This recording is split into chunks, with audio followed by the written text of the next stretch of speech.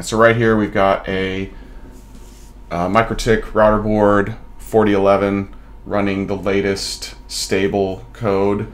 Um, it's running IPv6 natively and it has, you know, a handful of prefixes that it's routing. It's also, you know, running the route cache print at interval one so that we can see that the route cache is in a pretty steady state uh, for IPv6. It's updating every second. And what we're going to do, as you can see here, the max cache size is uh, you know fairly high, and that's the default, hasn't been changed.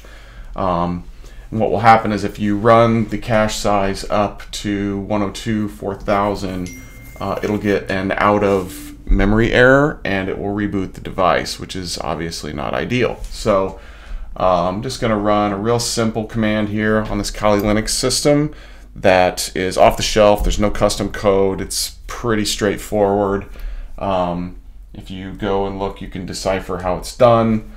And um, we're going to watch the route cache size increase uh, fairly dramatically in a short period of time. I'm not going to run it up to reboot, but uh, it's definitely possible. I've done that.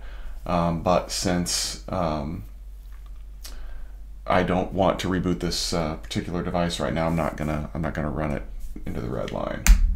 So running the scan, and this is a simple scan, right? I've seen this drive other devices of other vendors um, up pretty high, pretty fast. Uh, causing CPU spikes and other problems. Uh, this is not necessarily isolated to MikroTik, um, but it is definitely something that uh, has a result that's fairly undesirable. So as you can see, you know, I went from a pretty steady state of about 200 to 300 uh, route cache entries in the V6 route cache and in a handful of seconds, it's been driven up to, you know, 16,000 and climbing you can change this and make it go faster. You can, you know, run multi-stream, you know, multiple instances of it to double and triple it. Um, but it should be pretty obvious that, you know, this really simple one-line command can drive up the route cache size pretty fast and in a pretty dramatic way uh, and allow for the, the out-of-memory error to be very obtainable. We'll go ahead and stop this.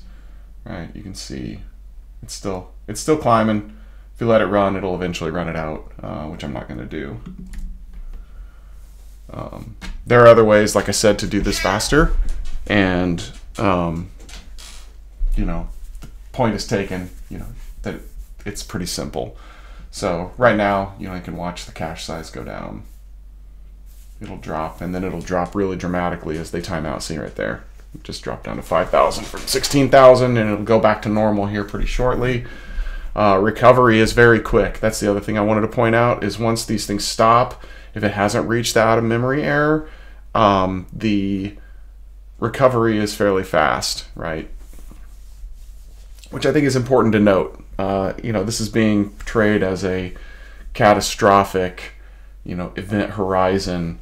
And while very undesirable uh, obviously, it's not exactly that bad. I've seen things like this before, and you know, this is really not that different than standard, you know, low-hanging fruit pen testing, running state tables out of you know uh, stateful middle boxes and other type of devices that have to keep cache entries and state entries and things like that. You know, I've seen problems with this with NAT tables and other things. It's a solvable problem.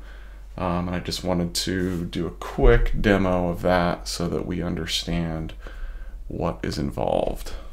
Thanks.